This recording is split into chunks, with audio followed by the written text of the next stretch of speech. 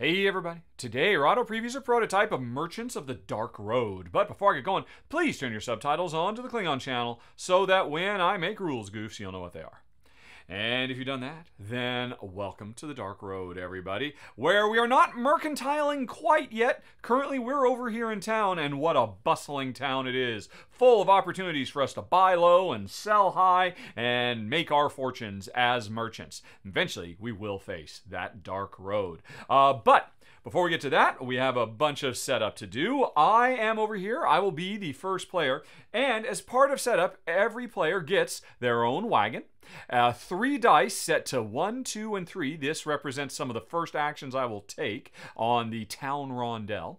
Uh, everybody starts with a bit of cash. Everybody gets a horse my horse is Whisper here, a fine steed, which gives me my own unique special power. A very shaggy horse. I'm quite fond of her. And I also have a passenger. Good old Olvero, who would very much like to return to Windglass, his hometown. And uh, for signing on, he gave me a crystal, which is why I'm starting with a crystal. Most of the time, players don't, although everybody does start with one horseshoe, which is a means you have to manipulate the dice. Also, I've got a secret goal. Everybody gets one. I'm going to get two points if I deliver three commissions over the course of the game to Night Poem, Curse Cairn, and Windglass. How fortunate. I'm planning on going to Windglass. That was a nice bit of serendipity. And finally, as I am the first player, I have one good in my cart here. It's a book. And right now, books are the most valuable thing in the game. As you can see, they are worth five bucks. You can't even buy them. They are so rare, and I've got one. Now, my opponent over here, you'll notice, does not have a card. That's because I'm doing a solo run through today, going up against the Trader. Uh, which is an automated enemy that has a deck of cards. It basically means the trader does everything a player does in regular play, just that they make the decisions based on these cards. So the trader has their own passenger, uh, their own starting cash, their own objective, although they never actually care what they are, they're just worth flat points. Um, the only thing a trader doesn't have is their own horse and their own horseshoe. They they get around some other way, I guess. So anyway, uh, it's me versus the solo. And uh, the last thing is we all start here in town on this central rondel. And I should say that uh, today my prototype did not come with meeples to represent our little wagons that go around town. So I'm using a couple of my lovely uh, glass markers that my wife has made. Oh, they're just adorable, cute little owls for the dark road. This is me. This is the trader. Actually, before I filmed, Jen said, "Well, hey, what do you want? Look, we can have kitty cats or dinosaurs or little googly-eyed monsters or all kinds of stuff or even cute penguins." I almost went with the penguins, but somehow the owls seemed more appropriate. Just look at them staring at me, looking down upon me, and saying, You better get this right, pal. I will do my best. But anyway, folks, we are set up, ready to go. I am the first player. Now, how does it work? Well, as I said, I've got three dice, a one, a two, and a three queued up. And I'm going to use one of these dice to move one, two, or three spaces on the town rondel. If I use this three, I would go one, two, three. And then that means I have access either to making an excursion or going to the dark market. If I use my two die, I'd go one, two, and I would have access to the excursions or the commissions. And finally, if I use the number one die, I'm just going to move one step, which gives me access to the Great Bazaar or the um, Queen's Commission. So I've got to pick one of those things, and whichever die I pick is going to determine what I'm going to be able to do this round. So, what do I want? I think, I think I will start out I'm to use this one. I'm to move one space on the rondel. Now, what that means is I take this and I move it up here, and this is a reminder that I'm to move one space on the rondel. But this space that just emptied out, I now have to put a new die in here from my supply. So if I put another one here, then that basically means I am setting myself up for a future turn where I'll only move one. But if I put the three here, I'm setting myself up for a future turn when I will do three actions on the rondel or move three spaces on the rondel. So um, every turn, you're making a short term decision of how far do you want to move on the rondel, but you're also doing future programming for how far you'll be able to move on the rondel. And you know what? I think I'm going to do this because there's one other thing. Depending on which die I choose, that means I'll move a certain number of spaces on the rondel and get access to different things in town. But I will also get access to this action, this action, or this action. I want this action. What this is saying is whatever die I put in here, not only does this mean on a future turn I'll be able to move three steps on the town rondel, but I also get to craft a number three item, which according to this little cheat sheet right here, is a staff. So, uh, you know, uh, whereas if I'd put a one over here so that later on I would only move one step, then I would craft a gun. But I'm going to go on ahead and put a three here, which means I am crafting a staff. Hooray! I got it for free basically, and I can put it wherever I want. You can see I have limited storage space on my little wagon here, and uh, you can always move this stuff around to kind of, you know, squeeze it together. So anyway, now I've got my starting book and I've got a staff. And so that's what this die moving into position did. It gave me that staff, but this is the die I really care about. It means I move one step forward. Boop! Okay, and I have arrived at the door of either the Queen's Commission or the Great Bazaar. I get to do one of those actions. And I mark the action I'm going to do by taking this die and putting it here or here. Because, you know, sometimes the actions I do are really simple, sometimes they're really complex and they require a lot of thought. So, I got to decide what am I going to do? I think I am going to get a commission. So I, if I come to this space or this space, I can get a commission. I can have up to three commissions uh, queued up on my little wagon train right there. And those means I've got jobs, things I want to deliver out on the dark road. So, I've got one more decision though. All right, so I chose how far I'm going to move on the rondel. And also at the same time chose which bonus I'm going to get. There's these other bonuses. I'll show you how those work later. I've also set up for a future turn, and in the process also made another item. There's one more thing. Everybody starts with one of these illuminated dice. After I moved this up here, well, actually, oh no, no, I'm sorry. Because I used this one, I can't use my illuminated die. Instead, I got to forge an item for free. If I had used this die, I would have had the opportunity, if I wanted to, to use my illuminated die and do a double turn, which is very cool. But that means I would have had to move two spaces on the rondel, which maybe wouldn't have put me where I wanted to go. So, ooh, right. Okay, so anyway, so I moved one, I uh, made a thing, uh, a level three thing, and now I can either get a commission and as you can see, there are several. There's a there's a commission for each type of each of the towns out on the dark road: Windglass, Northbreak, Nightpoem, Cursecairn, Scorchborn, and Farglen. And these are basically going to be shopping lists, stuff I have to get into my wagon and then deliver out onto the dark road to one of these towns later on. So, what commission am I going to take? Well, the obvious choice would be I should go on ahead and get a commission to Windglass. Since I'm already planning on delivering this passenger to Windglass, I should take the Windglass job. Especially because the Windglass job says I need to deliver, in a perfect world, armor and two staffs. I've already got a staff. Hmm, so do I want to do that? My other option, I think would be interesting to me. Well, first of all, remember, I've got this goal that's secret. Only I know that I want to do commissions to Night Poem, Curse Cairn, and Windglass. So, Windglass is a no-brainer, but remember, I've got a book. Over at Night Poem. they want books. Yes, they do. They also want musical instruments. Now, why would I choose that when I've already got a passion or wanting to go to Windglass? That is because I care about my opponent as well. Because whenever somebody eventually comes to this space or this space and starts an excursion, you know, basically tries to travel and make a delivery, all players have the opportunity to join. So, if I want to, I can spend a whole turn in one of my dice triggering an expedition and traveling and all that, or I could wait for my opponent to do it and I could piggyback off of that, uh, that um, trip they're going to make. And that means I would be able to spend my precious dice doing other things. Now, of course, there are definite benefits for being a leader of a caravan that goes out to all these places. But if I'm just going to wait for my opponent here to try to deliver their their passenger, Elif, who wants to go to Night Poem, maybe I should grab this Night Poem one. That's why I'm thinking about it. Because remember, I've got to deliver a Nightpoem. I've also got to deliver Curse Cairn. And the thing is, if my opponent decides to go to Night Poem, which is one of the, uh, which is the purple, I can tag along and either go to Night Poem or Curse Cairn. So, so that is interesting. I've got a book. Both of these want books, so maybe I should grab one of these and then plan on fulfilling that commission with the book I started with when my opponent eventually goes for a ride. I think that's what I'm going to do. I'll, I'll, I mean, although Windglass is not bad, but I can always, hopefully, I'll be able to pick that up later because, like I said, this is a rondel. We are going to go round and round this thing many times over the course of the game. So, uh, Okay, so then what should I choose? What should I choose? Here's an interesting thing. Night Poem wants a book, which I've got. And remember, books are the most expensive thing in the world right now. They cost five bucks. Night Poem also wants musical instruments. Musical instruments are the cheapest thing in the world right now. Right now, they only cost one gold, and I started with five. So if I rush right out there, I can potentially buy a couple. If I, if I say this is the commission I'm going to take, I've already got the book, and then if I can get over here really quick, then I'll be able to buy two instruments potentially, for one buck.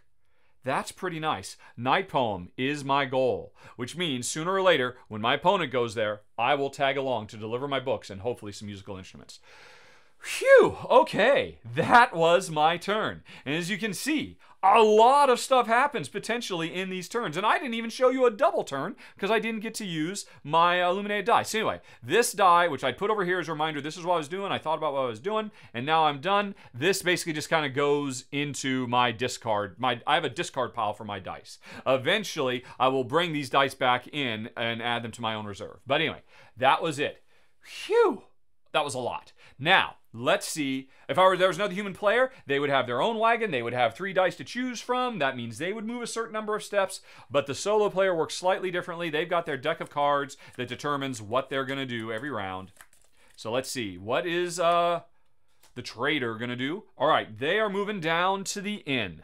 All right, uh, so first of all, we from the top to the bottom, this is where they want to move. So it's like they played a one, two, three, four. It's like they played a value four die. So they're going to go one, two, three, four, and here's where they are because we always go clockwise around town, rondel style. Here's their evil owl. Oh, look at them. All right, so they've come here. And now, um, they, you know, the, the trader does not actually directly do the normal actions. They actually follow the rules of their card. So, first of all, upon arrival here, they get a good. All right.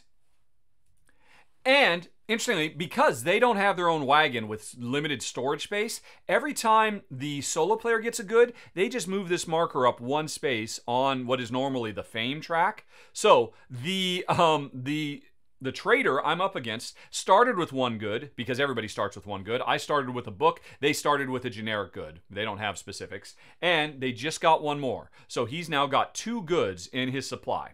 I've got two goods as well, but I have to actually physically fit them into my little Tetris puzzle over there. Next up, they are going to try to go to the inn if they have four or more goods. If they had enough goods on hand, they would try to sell the goods to one of these folks at the inn and make a lot of money. And that's important. There are two ways to score points in this game. You are trying to make as much money as you can by the end, and you're also trying to earn as much fame as you can by the end. And at the end of the game, whichever of those two numbers is less, that's your final score. So you're always trying to keep your money income and your, your, your money and your fame kind of equal. So anyway, if the dummy player had four or more items, they would now sell some of those items to the folks over here and um, make some money, which is one way to score points. However, remember, like I said, at this early game, they only have two goods. So that means even though they're here and they could have come to the inn, they don't have enough to sell. So instead, they're going to go to the dark market. They ignore this, they do the dark market, and this says, by the way, folks, this is a prototype, so I've had to use a Sharpie on some spaces because, uh, you know, things are being tweaked and adjusted, as is often the case with prototypes. They're going to move one on the dark market rondel and they are going to get a um a, uh, a, a, what do you call it? A crown card and two fame. This is what they're going to do. So they move once on the rondel. Now if they were a regular player they would move here and that means they could get a gun plus a piece of armor. But they never actually take they just move this so it affects me in case i want to come to the dark market. So they, in, instead of taking what this landed on, in this case, this card says they get a they get a crown that scores two fame. Over here, we have got at all times two objectives that anybody could grab if they go to the dark market and spend enough money. This one will give them a secret goal plus two fame points. This one will be a different secret goal plus one good plus a horseshoe. Now, he, you know, his card says, hey, I want the crown that says, give me two points. So that means he's going to take this. This is a lost opportunity. I could have gotten one victory point, which is the equivalent of getting $1 and one fame, because it increases my bottom line score, if at the end of the game I had played a Snowbee, uh, you know, or Snowbees, Ice Mouse, Ice Mice, or uh, cave dragons. These are familiars that you can encounter on your travels and make befriend them. So that was saying, hey, you can get points for befriending familiars. Except, uh-uh. He just took it, just like a player would take this, and also gets two fame. So, gonna move up to one, two, on the fame track. I have no fame. He's already at four fame, and uh, he's got two goods. And he just keeps this. This is basically worth a point to him at the end of the game, every objective. So that was his turn. Again, his turns are super simple. You move to where he says on the rondel, you do what it says on top, and then you check, hey, which of the two buildings can they interact with, depending on if they've got enough stuff, and then they do it. And so that was it for the trader. It is my turn. And so what am I going to do now? Well, I'm either going to move three, two, or three spaces on the rondel, which means I'm either going to go one, two, and end up here, or I'm going to end up over here. I'm going to end up in one of these two spots, unless I want to spend my trusty horseshoe. A horseshoe can be spent to either increase or decrease the die value by one. So, let's see here. Now, what I want to do is I want to get around. I mean, I'm having to leave now. If I had a five, a five means moving five steps, which would be the equivalent of going one, two, three, four, five, which is standing still. Unfortunately, so if I had programmed this here, I could do this now, stand still, and then go shopping at the market like, I, like I'm thinking, because I want to buy those instruments while they're cheap. But unfortunately, I put a three there, which lets me go one, two, three which does not get me up to the market. Although, if I use this three or this three, I could also use the um, horseshoe, which would get me over here, one, two, three, four, and then I'd be able to either go to the inn or go to the market and I'd be able to make my purchases now. So, do I use my horseshoe, my most valuable horseshoe? Because here's the thing I want to get these musical instruments before my opponent decides to go on a road trip because I want to get, you know, I want to get maximum use out of this commission I've gotten. But I don't know what he's going to do, just like I wouldn't know if a regular player. I, you know, my opponent now knows because, hey, I took this commission, they can tell I'm probably planning on piggybacking off of what they're doing. Or alternatively, I might make a trip to Night Poem and they could piggyback off of me. Um, so, if he's in a hurry to make that trip, I had better go. Although, he doesn't have a commission yet. I don't think he makes trips unless he's got commissions. Right. Hmm. So, I think I've got a little bit of time, which means. Oh. Oh. Which means I. Oh, that's very interesting. I have another interesting plan. Okay. All right. I think he's going to get to piggyback off of me instead. I'm going to trigger this die, number two.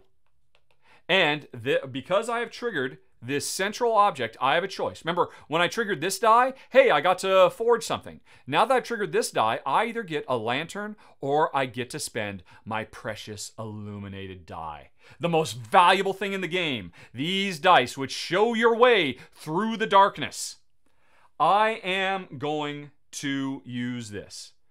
All right, so I'm not giving myself a lantern, which you can see I've got storage for up to four lanterns. Instead, I'm using my illuminated die.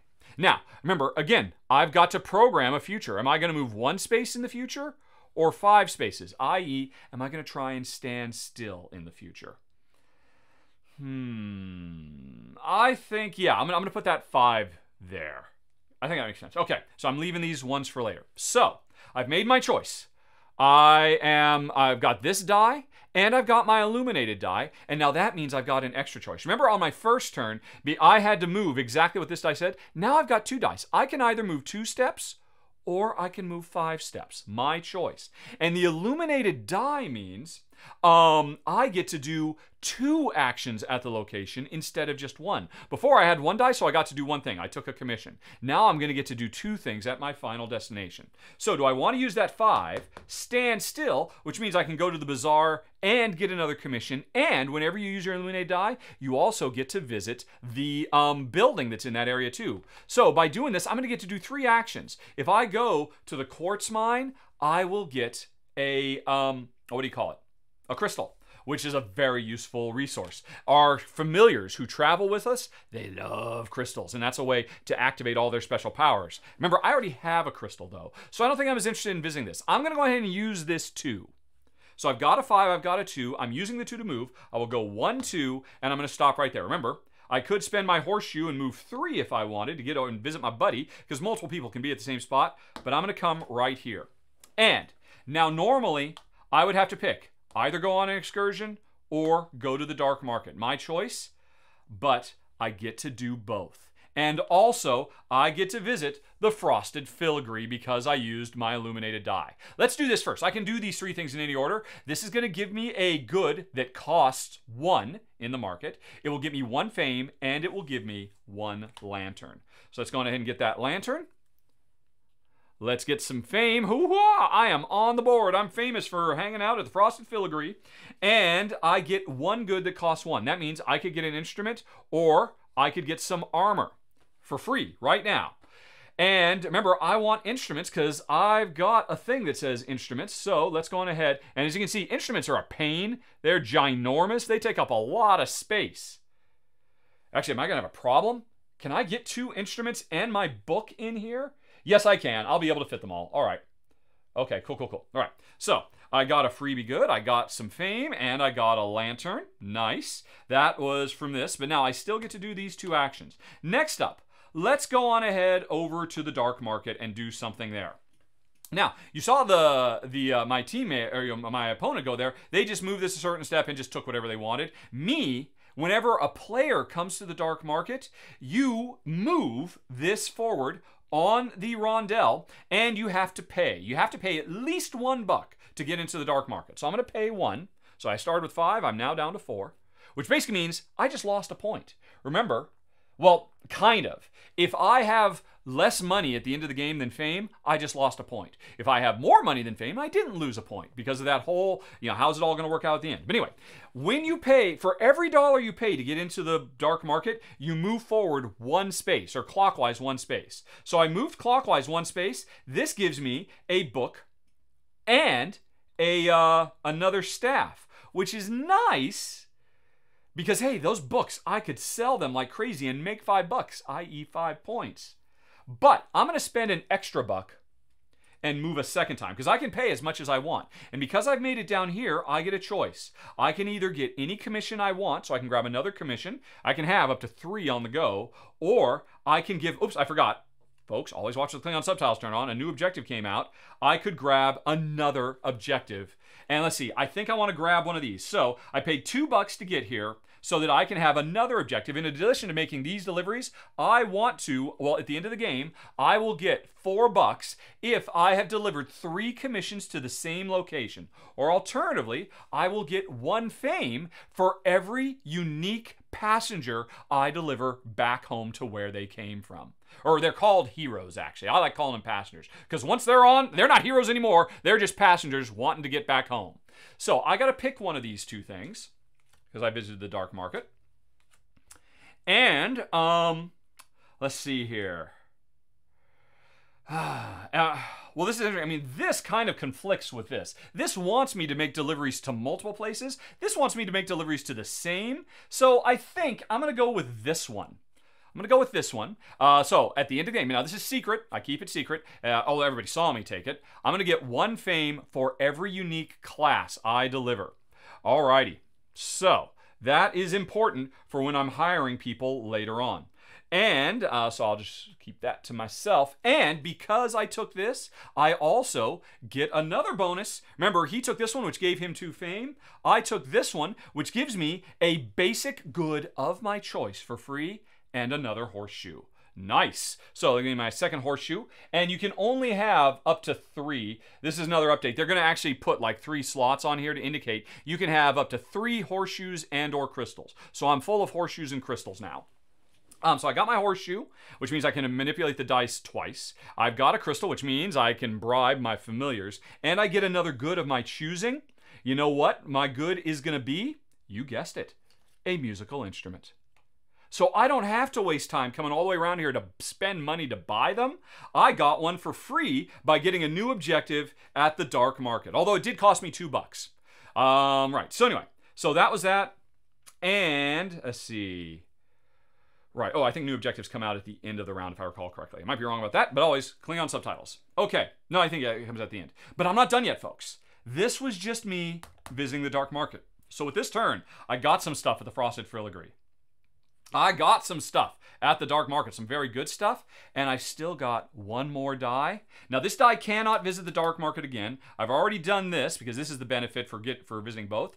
I'm gonna go on an excursion. Okay, now the die doesn't matter. You know, because I put a two here or a five here, that has no function. The numbers on the dice, once they're up here, they only indicate how far you move on the rondel. So I am going to do an excursion, which means I've got another choice. I can either go to the nearby ruins and try to find some magic items, or I can actually hit the dark road. I can become a merchant of the dark road and try to make it out to Night Poem or Windglass because I got a customer who wants to go one place, I've got a commission to go to another place.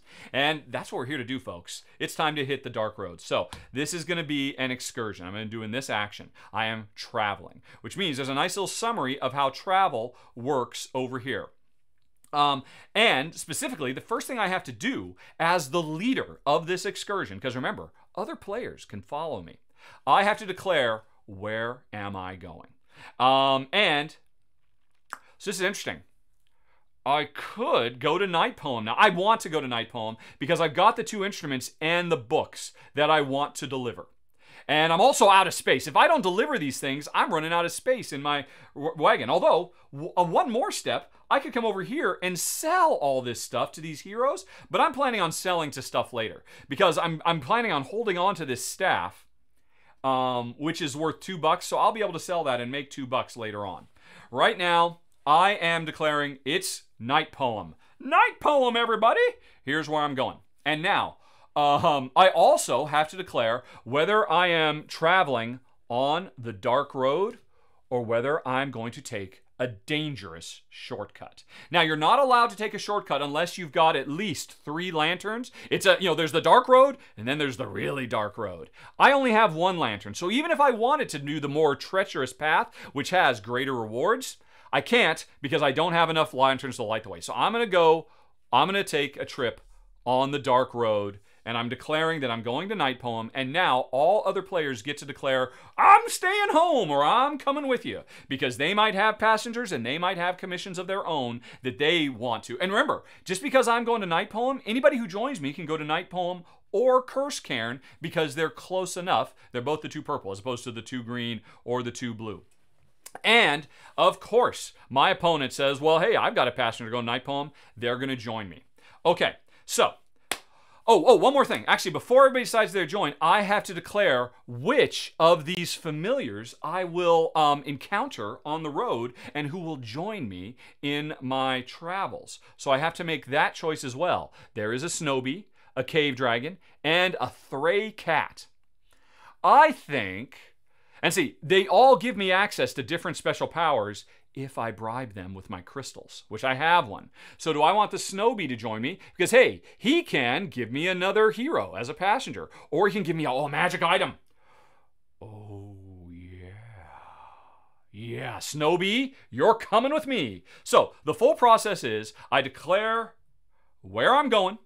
I declare what familiar is coming with me. So the Snowbee joins Whisper on my magical caravan and I declare whether I'm going or not, and everybody else decides whether they're going to come along on the dark road. Anyway, because the Snowbee is coming along, whichever familiar is um, furthest along on the route, they will actively help us face the challenges ahead. If I took the Cave Dragon or the Cat, there I wouldn't get this die, which will help on the trip. So that's one of the reasons I took the Snowbee, because the Snowbee is definitely going to help out. Um, so wh- whoever travels generates a travel die. The Snowbee is giving us a die.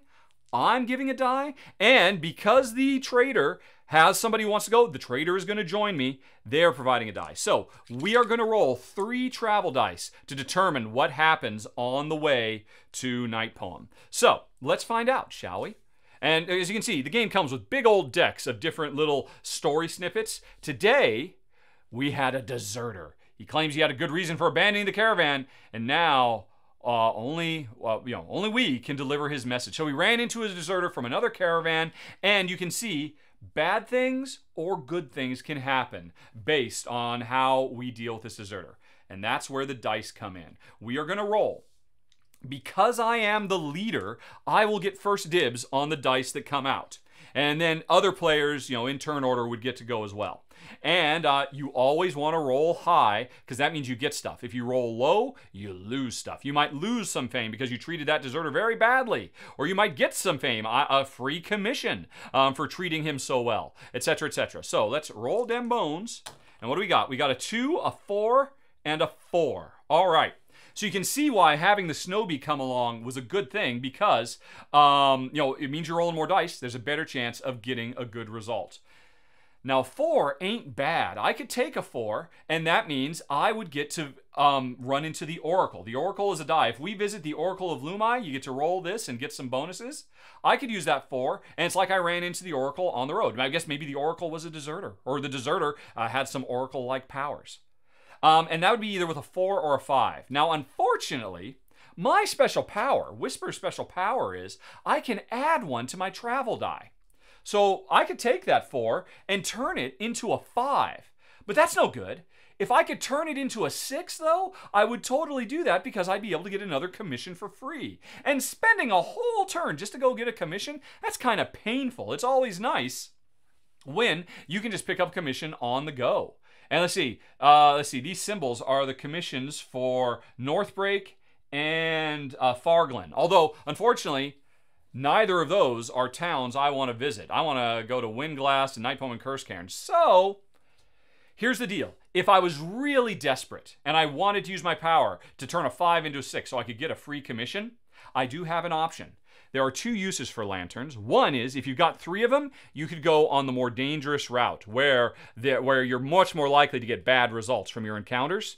But um, when it comes time for you to take a die and you don't like the dice that are available, you can spend a lantern and re-roll all of them. So if I wanted, I, here's the thing.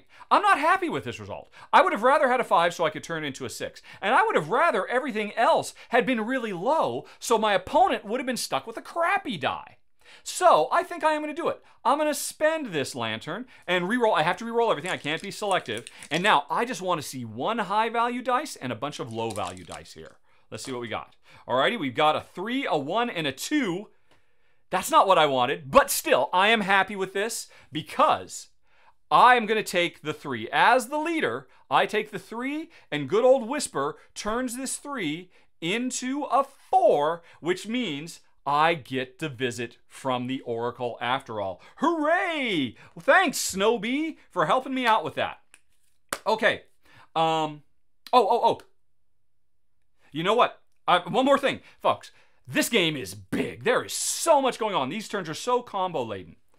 Um, I took the Snowbee, but I forgot. When I got him, I remember I have a crystal. I want to use this crystal and bribe him to get one of his two bonuses. The two bonuses I could get would be getting a hero or a magic item of my choice. I'm going to have bribed him to have gotten a magic item. I want another book, but not a regular book like what I started with, a magic book. You can see the little filigree on the outside and they're they're kind of golden. So I've got so I picked up the Snowbee. I gave him a magic crystal, so he gave me a magic book. He also gave me a die to help with the roll. Then um, everybody joined me. We ran into the deserter. I um, tried rolling. I didn't like what I got. I spent a lantern to look into the darkness. I ended up with a three. Whisper turned the three into a four. And now finally, I get to visit the Oracle. Let's see. Show me what you got, Oracle. Woo! I get two lanterns. All right. So this trip is paying for itself. Nice. Okay. So that die was gone. This is the one I took. Now, everybody else who came along on this trip in turn order would take from the remaining dice, and the uh, the trader, the solo player, will always take the best one. So he's going to take a two, which means, well, if he'd had to take the one, he would have lost two fame. Instead, um, he is taking a two or three means we either have to downgrade a magic item to a regular item, or if you don't have any regular items, you have to lose an item. So he just lost. He doesn't. He doesn't have a concept of magic items. I'm carrying a regular and a magic book. If this bad thing had happened to me, I'd have to downgrade my my magic to a regular. He just loses an item. So he had to. He is now down to one item. The item. Remember, he got that bonus one, but he just lost it um, because he did not deal with this deserter very well. All right. And um, the snow bee takes back the other die. Or I should say, after we took the snow bee, um, or I should say, at the end of the turn, when this refills, uh, a new one will come out, and the cave dragon will now become the familiar that if he joins you, you get an extra die when you go on the excursion. So, phew, we ain't done yet, folks. There's a lot going on in this game, as you can see. So, to recap, I declared, I got a follower, I used the follower ability, um, we had an encounter, it went well for me, it went very bad for the other members of my caravan who decided, and now we have finally arrived at Night Poem. Phew! And we now make good. And everybody can do this part simultaneously. Remember, um, you know, other players could be going to Night Poem or Curse Cairn to fulfill contracts or deliver their passengers, you know, heroes they picked up along the way. I cannot deliver Olvero. He came along for the ride and he does not get to go home because we're over here. I'll have to deliver him another day. Sorry, pal. You're just going to stick with me. But I'm going to complete my Night Poem, which means, uh, what did they want? They wanted, uh, I've got exactly what they wanted. They wanted two musical instruments and they wanted a book. Now, I've got a regular book and a magic book. I'm going to deliver the magic book. Okay, boom. Because I have fulfilled all three steps of this contract or this commission that I've got the two musical instruments and the book I get six fame. Plus, for every magic thing I delivered, I get one additional fame. So I'm actually going to get seven fame off of this trip. Very, very nice. Very nice indeed. So I'm now the most famous one around. One, two, three, four, five, six, seven. I'm the orange player. Uh, this is uh, him. He's the red player. He's a bit less famous than me, and he's got one good. All right, so uh, now I'm dumping all these. They're done. And alrighty. So that's pretty cool. And remember, fame could be my high score, or money could be my high score, depending on whichever is the lower of the two. So I want to keep on making money, and I want to keep on um, delivering stuff to the boondocks. I'm done with Night Poem. Now, also, if I had had, let's see, were there any? If I had had Mervin along for the ride, who wants to go to Night Poem, I could have delivered Mervin as well, and I would have gotten one additional fame and one additional dollar for taking Mervin home. Unfortunately, Mervin, you didn't, you missed the boat, pal. So I don't get that bonus. This is a reminder hey, get whatever bonus you should get based on the heroes you delivered, and get however many fame you should get based on, you know, how, how well you completed your commissions. So that is done. I could have had three commissions and fulfilled them all and gotten a ton of fame. You never know. But anyway, so this commission is done. Now I do keep this because remember, at the end of the game, I have to prove to everybody that I successfully completed a um, commission to Night Poem. So you keep track of everything you've delivered over the course of the game. Just kind of goes into your future score pile. Oh, by the way, I should say, money is secret. Everybody gets uh, a, a purse, a coin purse, so we can keep our cash. Everybody can see how famous everybody is, so that information is public, but nobody knows how much money anybody has. So it's still a surprise at the end of the game when everybody opens their coin purse and reveals how much money they've got, because maybe that's their score, or maybe the fame is the score. Um, since I'm playing by myself, I'm just not bothering uh, with that right now. But even the dummy player, I'm not supposed to know exactly how much money he has. So anyway, I had no people. I did have a commission. I've delivered that. I got a bunch of stuff. Meanwhile, um, good old trader here, he got Elif back home. Elif gave him two fame right from the get go for signing up, and now Elif has come home, and that means the trader gets one fame, boop, and one more coin. All right. And didn't have to waste time doing it, got to piggyback off of me. Okay, and now there's one more step arguably the most important step. And this is only for the leader of the caravan. Remember, it's a huge benefit to anticipate where other players are going to go and then piggyback off of them so you can make deliveries and score points and, and all kinds of things without having to waste your precious actions. But it's great to be the leader as well because only the leader gets a bonus. I was the leader. So I get to take, um, blah, blah, blah. oh, yeah, yeah, yeah, yeah. I get to get another illuminated die. I can take another, maybe these were supposed to refill automatically. Or I could take three bucks. Oh, and I forgot, by the way, as part of setup, there's supposed to be a fiver here. The first player, whoever, as their leader bonus takes money, they get five, and then subsequently after that, they get three.